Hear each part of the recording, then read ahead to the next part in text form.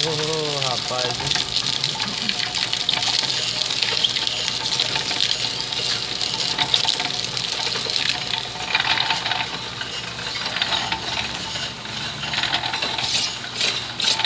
Será que é bilhete agora?